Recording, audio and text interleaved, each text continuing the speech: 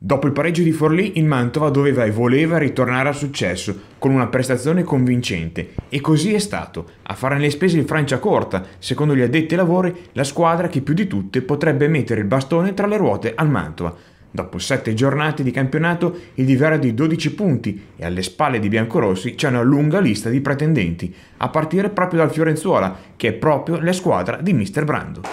Vabbè, mi fa piacere per, per loro, nel senso che eh, lì ho, ho, tante persone care, tante persone amiche, eh, sono contento eh, da una parte, poi insomma eh, lo stesso discorso che si faceva nelle ultime settimane eh, a me insomma deve interessare e interessa eh, sinceramente molto poco di quello che succede dalle altre parti, quello che è la classifica, io guardo, mi, mi concentro molto su quella che è la nostra squadra, sulle cose che dobbiamo migliorare, su eh, portare avanti il nostro processo di crescita. Contro il Franciacorta un primo tempo a senso unico, il Mantova sembrava giocare a memoria con un giro palla veloce di qualità, diversi pericoli creati, di pregevole fattura e gol realizzati.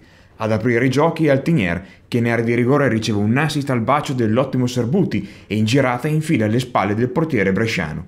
E poi il gol di Valentini, un centrocampista silenzioso in campo, ma sempre nel vivo dell'azione. Perfetta scelta di tempo nell'inserimento in aria che detta il passaggio di Guccione, che di fatto lo mette di fronte alla porta. Il Mantova diverte e il pubblico risponde a suoni di applausi. Poi, tra la fine del primo tempo e l'inizio del secondo, il blackout. Due sbavature difensive consentono a Bertazzoli prima e a Berdelloni dopo di riportare il risultato in parità. Cade il gelo sul Martelli, ma un minuto dopo Bomber Guccioni si procurano un rigore, trasformato poi da scotto. Per l'attaccante sardo è il decimo gol in stagione e si conferma il re bomber del girone.